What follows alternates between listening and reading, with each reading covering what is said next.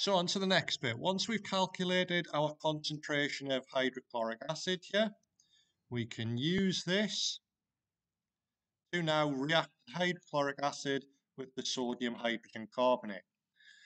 So looking through this practical, we can see we take 25 cubic centimeters of the HCl and put it into 250 cubic centimeters, a volumetric flask. So we're going to be adding 225 water.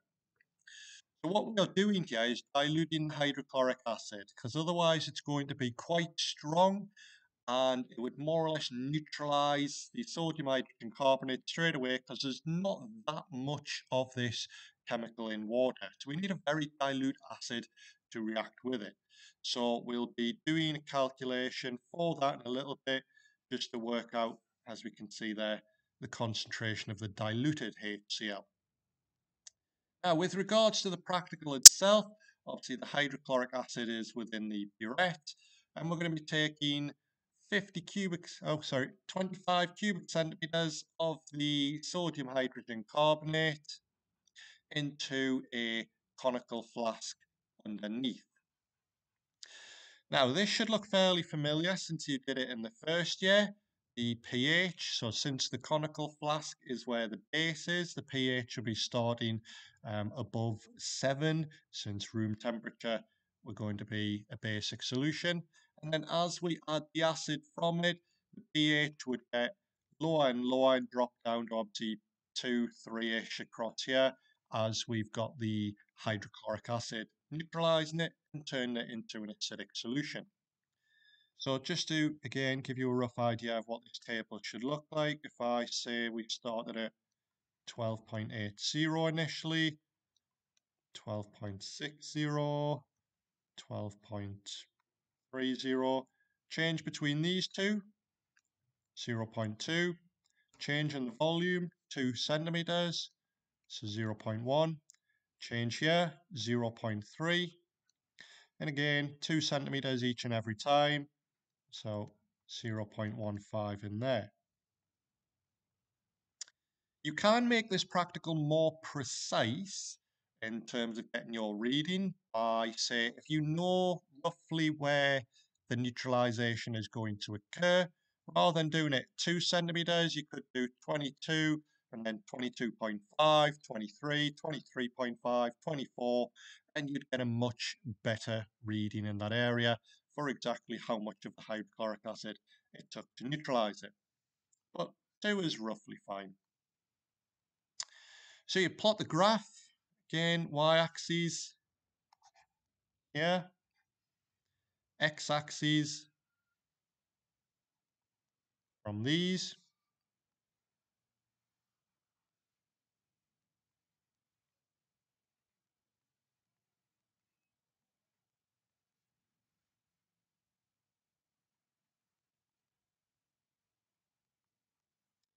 And what we should say is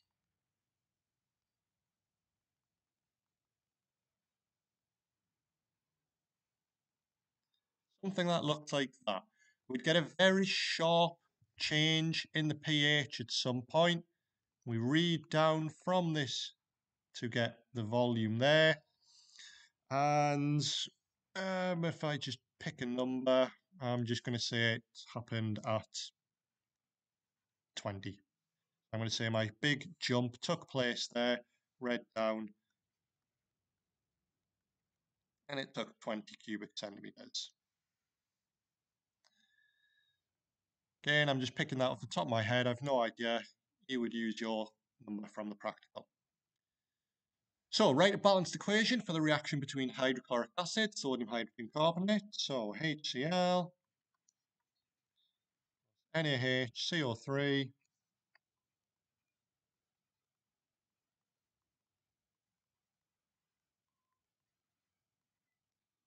So again, acid plus carbonate there. We got the salt, carbon dioxide, water for balancing it. One, one, one, one, two, two, three. Yep, balanced one to one ratio in there. So calculate the concentration of the diluted hydrochloric acid. Now, if we remember what we started with, 0.111, and then we took 25 and made it up to 250.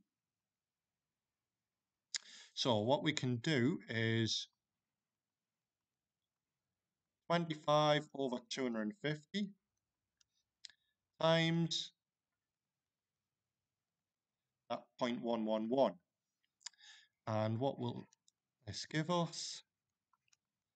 We can pretty much see by those numbers, we've made it 10 times weaker.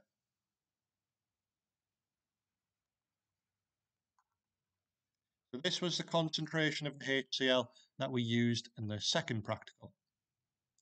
Now, using the volume at which neutralization took place, calculate the amount of moles of hydrochloric acid used. It's a solution, so N equals CV. Concentration, we've just got there. Times, and the volume I just picked out off the top of my head, just said 20. So if we get calculators for that, 0 0.0111 times 20 over 1,000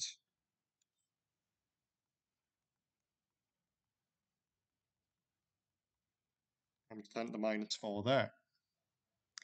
Now, using your equation in A, up here, the one-to-one -one ratio, and your answer in C, calculate the number of moles of sodium hydrogen carbonate neutralized.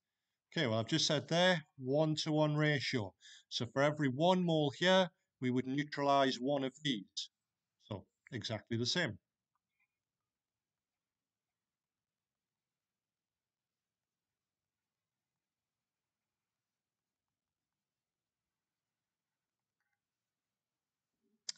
Now, find the concentration of sodium hydrogen carbonate moles per decimeter cubed. You need to rearrange this equation. C equals N over V.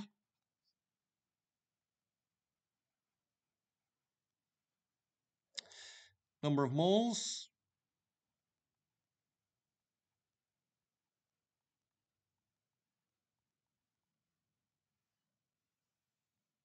And the volume 25 cubic centimeters. So that was the number of moles in that volume.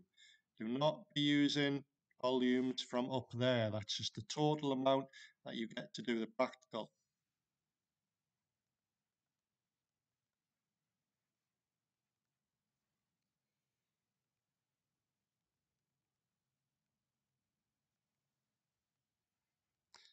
And hitting that in on a calculator, 8.88 times 10 to the minus 3.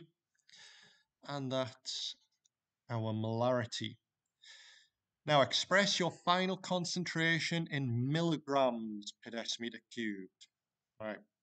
So if we've got 8.88 times 10 to the minus 3 moles per decimeter cubed, and I want it in grams per decimeter cubed first, and then I'll convert to milligrams after. To convert moles to mass, we are going to multiply by the MR. So the MR of sodium hydrogen carbonate, 23 plus 1 plus 12 plus 16 times 3, 84.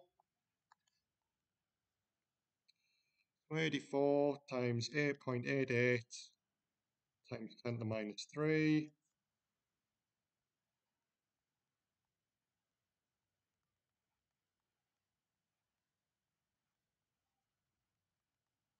And now all I need to do, convert grams to milligrams.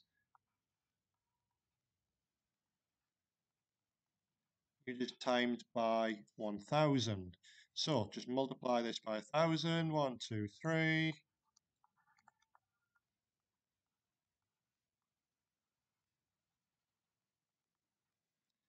And voila, there is our answer there. Thank you.